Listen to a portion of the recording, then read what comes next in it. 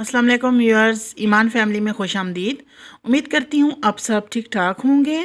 तो जी, आज मैंने बनाया चिकन कॉर्न सूप। बहुत मज़े का बनता है और बहुत इजी रेसिपी है। तो मैं अभी आपके साथ रेसिपी शेयर करती हूँ। तो अभी तक अगर आपने मेरे चैनल को सब्सक्राइब नहीं किया तो मेरे चैनल को सब्सक्राइब करें। बेल आइकॉन को लाजमी प्रेस करें ताकि मेरी आने वाली वीडियो का नोटिफिकेशन आपको मिलता रहे। अच्छा जी, मैंने ली है चिकन मैंने बोन्स वाली ली अगर आप बोनलेस लेना चाहें तो बोनलेस ले सकते हैं। और साथ में कुटी हुई काली मिर्च, लहसुन के दो जवे, नमक हसबे ज़रूरत और साबित काली मिर्च। ये मैं यखनी जो पहले बनाते मैंने उसके लिए लिए और साथ में जी ये करन फ्लोर है।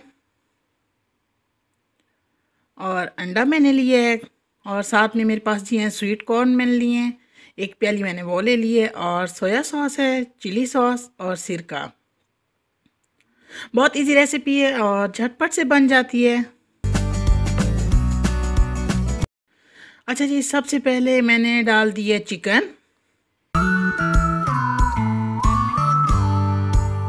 ये मेरे पास काली मिर्च, नमक और जी लहसुन।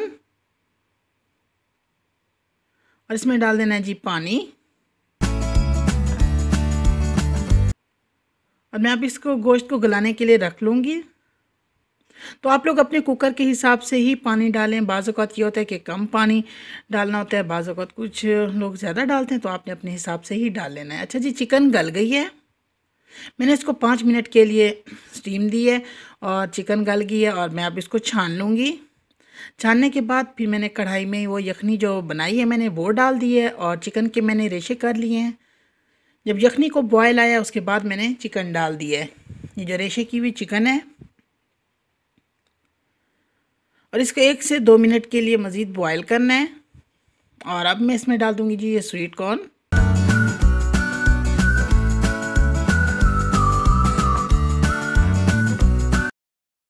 काली मिर्च।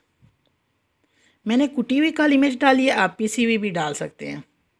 पीसी हुई से ये होता है कि थोड़ा कलर जो होता है ना, वो डार्क हो जाता है।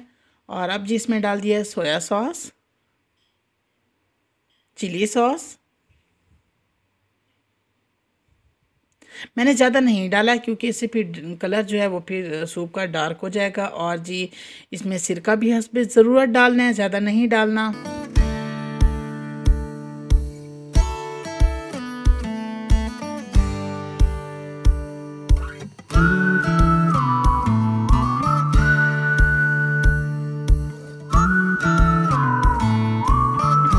अच्छा जी करन फ्लोर को मैंने पानी में घोल लिया और मैं ऐसा ऐसा वो इसमें डालूँगी और साथ साथ चम्मच चलाती जाऊँगी। फ़ौरन से सारा नहीं डाल देना, उससे ये होता है कि एक तो फुटकियाँ सी बन जाती हैं और अच्छे तरीके से मिक्स भी नहीं होता। और जी, अब मैं इसमें डाल दूँगी अंडा, एक अंडा मैंने लिया था, उसको मैंने फेंट लिया और वो मैं इसमें डाल दूँगी।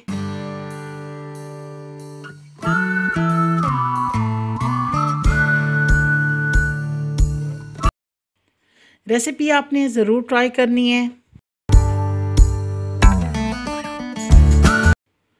और अगर आपको वीडियो अच्छी लगे तो लाइक, शेयर और कमेंट्स आपने ज़रूर करने हैं।